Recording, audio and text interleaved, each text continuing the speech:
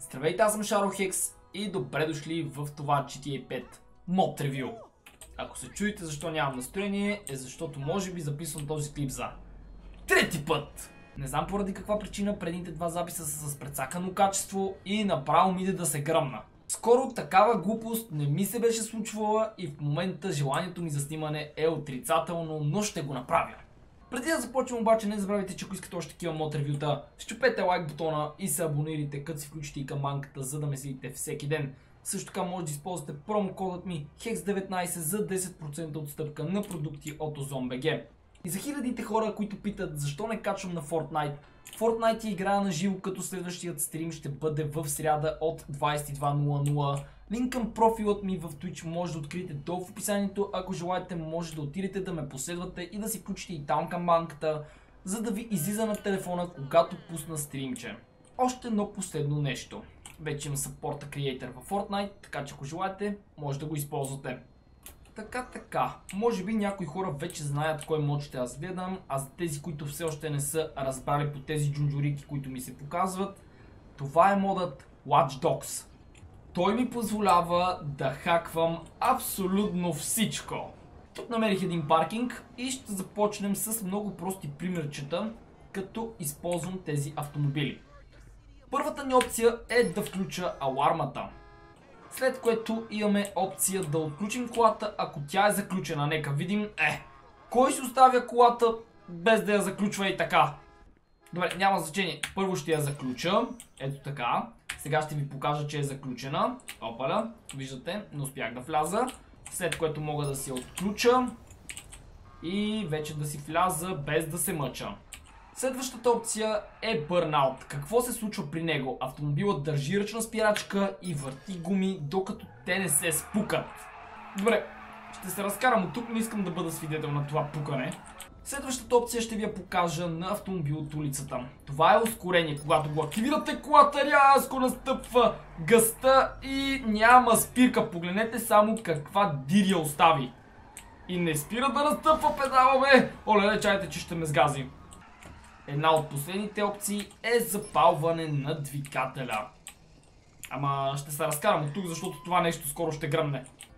И последното нещо, което можем да правим е да управляваме колата като с дистанционно управление. Както виждате, долу в десния тъгъл има сигнал и ако го загубя, вече няма да мога да контролирам самото превозно средство. А ако се блъсна в себе си, също ще се прекрати това управление. Добре, нека сега ви покажа какво ще се случи просто ако изгубя сигнал. Ето така, колата си продължава и вече аз нямам контрол над нея. Също така може да сменяте и светофарите на зелено. Но не ви го препоръчвам, защото погледнете какво става. Много тежка катастрофа. Не знам защо, но мога да сменям само от червено на зелено, но не и обратното. Също така може да вадите ето тези блокади по пътищата, които са мега яки.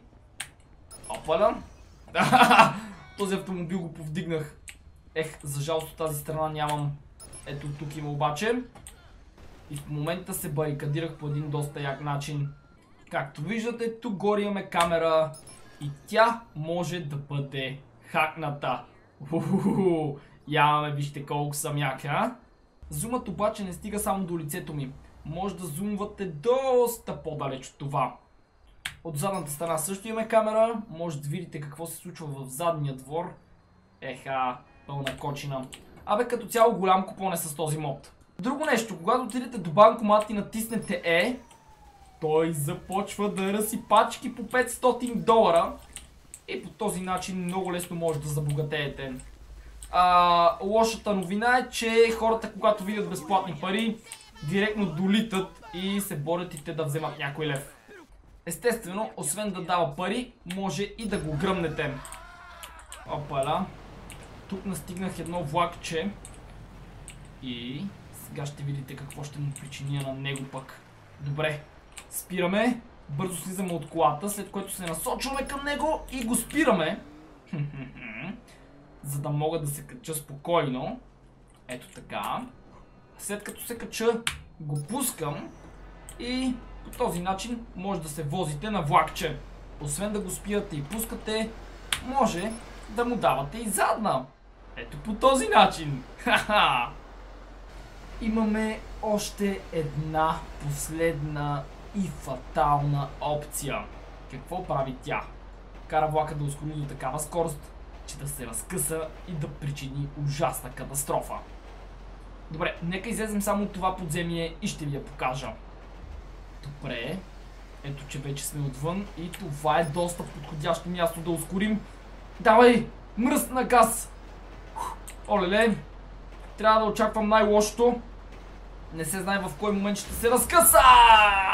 Въй! Точно на завоя! Това беше брутално! Мале! Погледнете какво стана! Мале, добре, че сме в индустриална зона и тук няма пешеходци и няма толкова коли.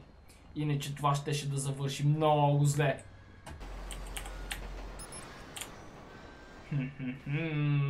Вижте, дойде още едно влакче. Така.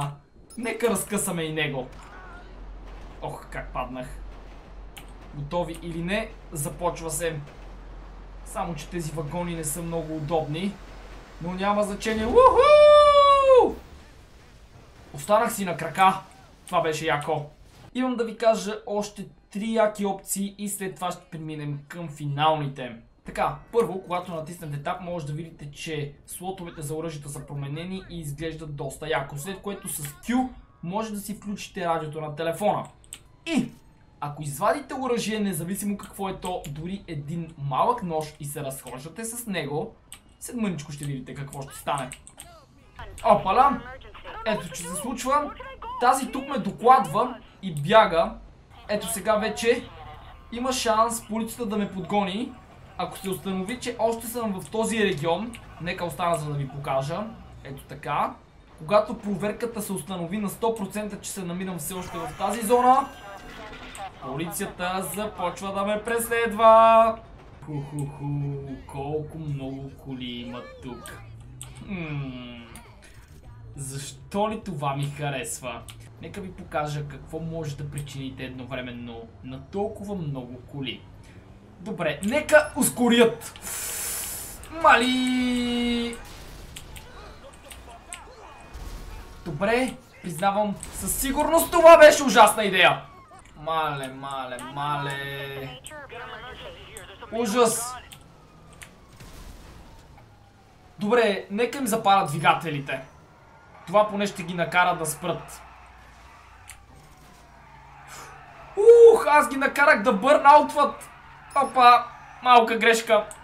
Добре, сега всичко ще стане в дим от гумите. Ужас!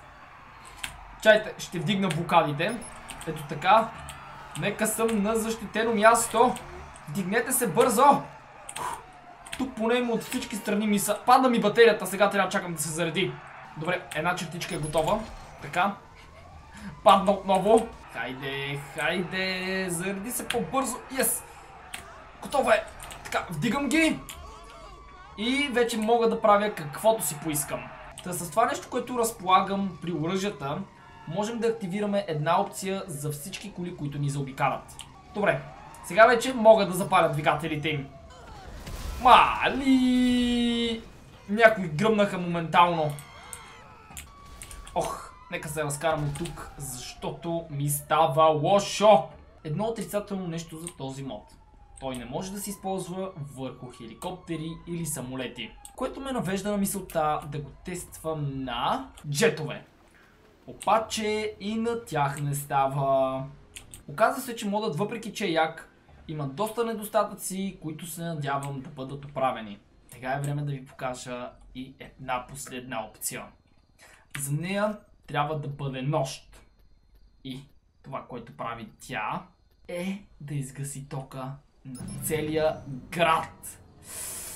Уха! Едва ли някога сте виждали Лос Сантос в това положение? Не знам за вас, но ако изгасне тока и погледна през прозореца и навсякъде е пълен мрак, аз бих се стреснал. Ами хора, до тук ще приключвам с днешният епизод. Надявам се да ви е харесал. Ако е така, не забравяйте да щупите лайк бутона, да оставите по един коментар и да се абонирате за моят канал, за да ме следите всеки ден. Също така линк към всичките ми социални мрежи може да откриете долу в описанието и благодаря ви, че гледахте. Бай бай!